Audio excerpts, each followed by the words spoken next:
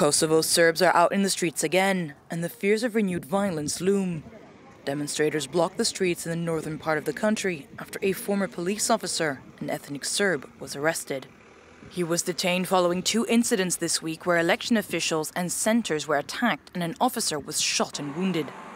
Kosovar police say the blockade halted traffic and were forced to close two border crossings with Serbia.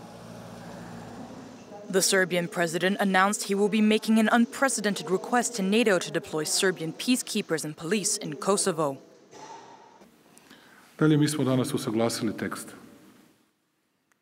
Today, we agreed on the text in which we will send a request to the KFOR commander asking him to ensure the deployment of members of the army and police of the Republic of Serbia on the territory of Kosovo and Metohija in accordance with the Security Council resolution.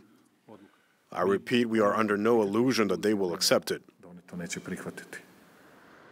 The latest tensions come as Kosovo's president announced the postponement of local elections in four municipalities with a predominantly Serb population from next week to next year after main Serb political parties said it would boycott the vote.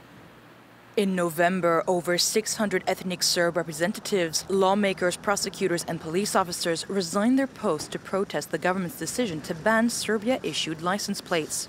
Both Kosovo and Serbia wish to join the EU, who has warned them to resolve their dispute and normalize relations in order to be eligible for membership in the bloc.